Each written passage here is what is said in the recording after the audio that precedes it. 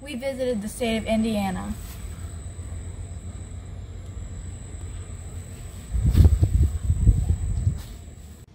Hey guys, I'm Lori. And I'm Rick. And we are here we go again. We are visiting the wonderful city of Santa Claus, Indiana, and we are at Lake Rudolph Campground RV Resort.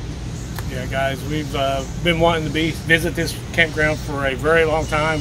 Finally made it, and it's as good as what we had thought it would be. Yes. So, uh, but guys, thanks for stopping by and checking out this channel. Give us a thumbs up if you like it or if you find it helpful. And please subscribe to our channel hit that notification bell so you can get our upcoming videos as we release them. But we're getting ready to jump in the Jeep and give you a tour of this uh, campground. Thanks.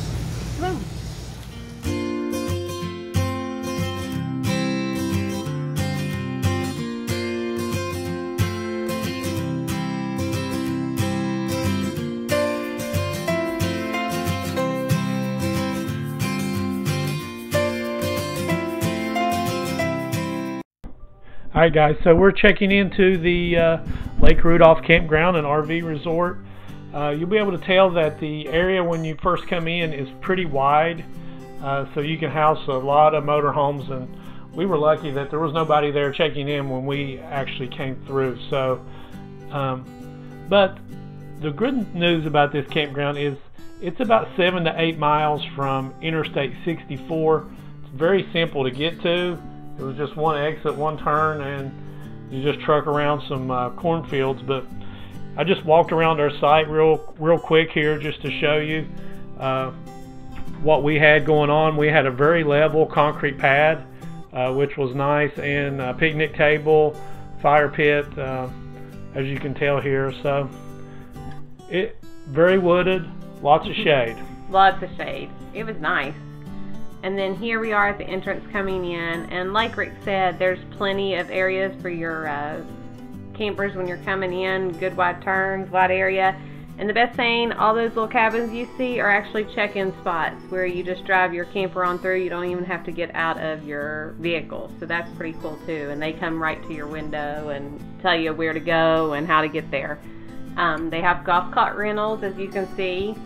Uh, lots of golf carts they're everywhere. It's pretty useful too with the hills that you have. One thing that I enjoyed is that if once you check in and you've got your uh, ticket for your window, you know you don't have to go back through the gate. You can they've got that one side like just like we went through there uh, on the right that you can just pass through all the traffic if there is anyone there checking in. So it's pretty quick to get through once you've checked in. Yes.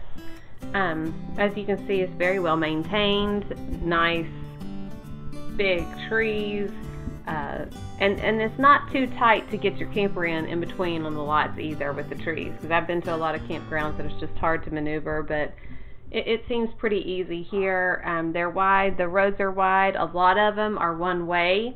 You just have to be aware of it. Um, I think it's pretty cute that most of them are Christmas oriented Yeah. names to their roads. So uh, that's pretty neat. The you know I like Christmas, so But there that's something for me. that's something you would expect when you camp at a place called Santa Claus in Lake Rudolph. That's you know, right. I mean, that's one thing that we we enjoyed. I mean, we loved and we've seen all the amenities and the things that were close by. But it's a great little Christmas feel, even though it was August. That's very true. You know, It could have been colder, but you know what? I can't complain. We the great- weather was beautiful. Yeah, we not had- too humid, not too hot. It got cool in the evenings. I actually wore a jacket, so just yes. that was, was during summer, so It- it- fantastic. It, felt like fall in West Virginia for Yeah. us, but you know where you have to put a sweatshirt on to go sit by a campfire. But it was it was very nice. It was probably for August the coolest August camping trip we've had in a long, long time. Yes. As you can see there, there was the lake. They had fishing. They had a pier to fish off of. They had pedal boats. They had um, a volleyball court on the beach, and the dog park was over there as well. Yes, yes, and you could see one of the roller coasters coming through where you. Uh, some of those sites there were lake view. You know, you're by the lake, but I, I'm sure you can hear the roller coaster and the happy screams from Most definitely. from that. So it was while we were there, I heard some screams, but Yes. it's it's all in good fun. The kids having a great time. But uh, as you can see, if you've got more than one or two vehicles, you might find some campsites that are pretty close together. Yes. Especially if they're large trucks, large SUVs, and you got your big fifth wheel or something like that there. But uh, uh, these campsites range right around thirty to hundred dollars, depending upon if you get the full premium pad with concrete and uh, sitting area for your picnic table, or whether you're gravel, and just exactly where you're at too in the season. Yes. So they also have cabin rentals, a ton of cabin rentals. I mean, probably the most that I've seen in any campground. Yes, yes, I would agree. Which is anywhere from 100 to 180 dollars a night, but I think why they have so many is because they know Holiday World is right next door, and there's not. I mean, I didn't really see any hotels or anything around that place. No, I mean Santa. Claus, even though it's a very cute town, it is on the smaller side. So I think you know, for Holiday World, Lake Lake Rudolph is the place for staying. I, I would agree, unless you're going over to a distant town that we actually did visit as well. What was it, Ferdinand or something like yeah. that? That's where Uh, the McDonald's and Subway and that's where the fast food restaurants. That's where we had are. to get some lunch at one day. But you know, as you can tell here, here, here's they had a couple of camp stores where they have ice cream, pizza, drinks, all kinds of little uh, knickknacks for souvenirs. They also had firewood there available for you, and I believe all of the little camp store areas had a little tiny arcade inside, but due to COVID, they had them closed. They had them closed. So that was one downside, but And- most of the other stuff was open, just on Yeah. And capacity. take note, they do have sandals for for guys because I had to stop in and get a pair of sandals as well. Because he forgot to park, pack his, so that's his fault. That's not my fault. but uh, guys, uh, as you can tell here, the campsites are large. I mean, I, I'm I was a little impressed. Like we had a lot of room on our campsite. The- there, there were some that were on the smaller size, but the majority that I seen were were large. These campers that you're seeing right here are actually for rent as well. They actually rent out camp campers. So if you want the camper feeling, you don't want to be in the cabin, this is the way to go. And these camp these campers are huge. I mean, these are big campers. Yeah, you you're going to sleep quite a few people in the camp, the campers that they had to rent. But uh, as Lori was saying, there is tons of shade here. I mean, but there were a couple of sites that did not have shade, but they were the newer sites that didn't have the trees growing and stuff like that. I think, and uh, but you all you would have to do is ask and tell them you want a site with shade because they had plenty that were open. Yes. Yes, they also have areas for tent camp camping that actually go deeper into the woods back from the road.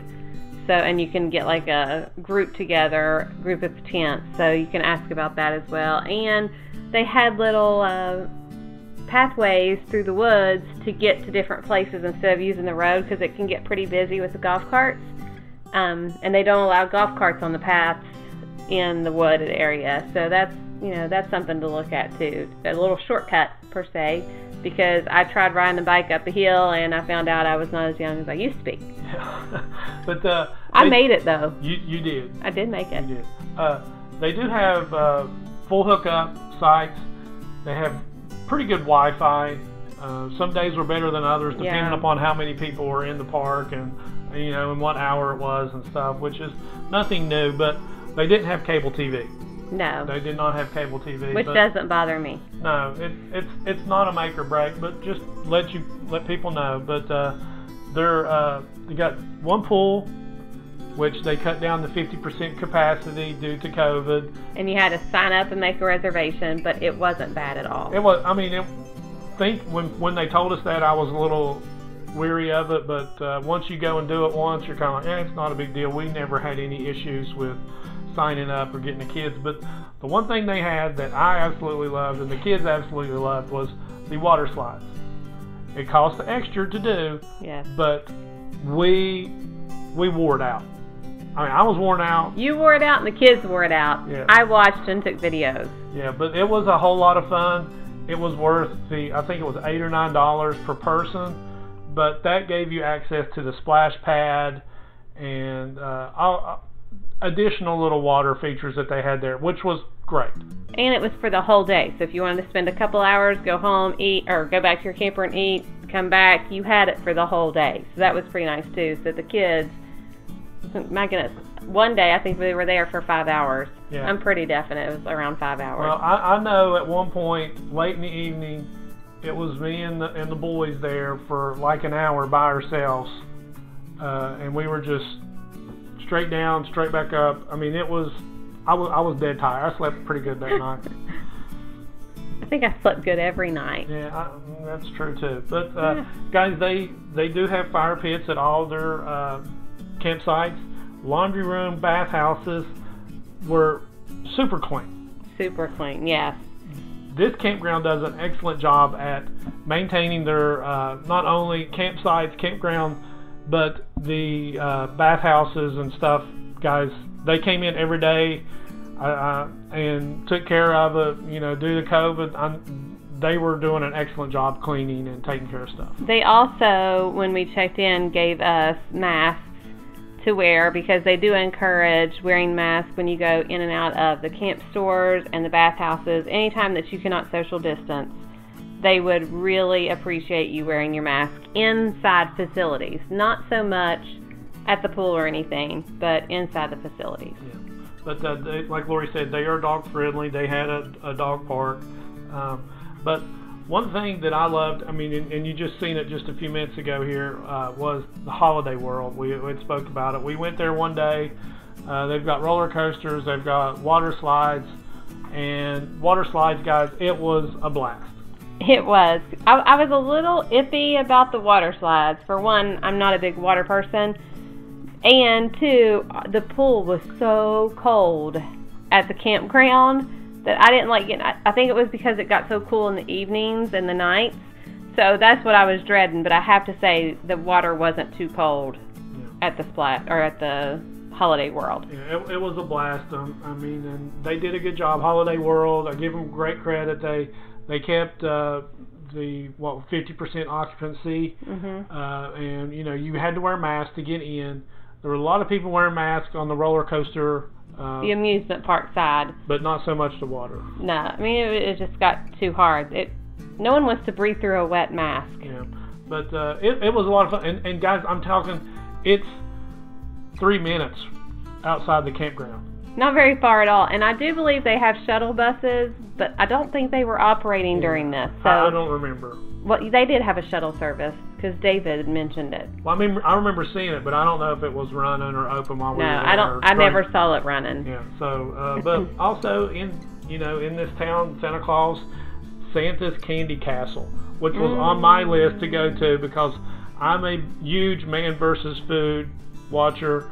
Love Casey. He actually went here and did uh, a challenge, and I wanted to go and do the challenge, but due to COVID, they were not doing the challenge. I could guarantee you wouldn't have made it through the Oh, I know, challenge. but I wanted to say, YouTube, I did the challenge and I failed. and he failed, but didn't have to worry about that. Now, see, I could have passed the iced hot chocolate challenge. Yeah. You may not have, but I would have been able to. So, all in all, wonderful stay, great visit. Kids had fun, we had fun. Definitely a place that we would love to go to again because of Holiday World, especially. Yeah, yeah. but I mean, I, I I liked it. It was it was not a bad drive for us. Uh, I enjoyed visiting the Christmas store. They actually have a toy store there in the area, but we didn't venture to it. No. But uh, we had a lot of fun. I definitely enjoyed it. Uh, looking forward to going back. Yes. I just don't know when. Yeah. But guys, we really appreciate you guys watching. Uh, please subscribe if you're not already a subscriber. And until next time, God bless. Safe travels. We'll see you later. bye. Bye. Okay, campers, go check out our apparel store if you haven't already. Link is in the description of this video. Promo code HWGA20 for 20% off for a limited time only. Safe travels, guys, and God bless. Bye.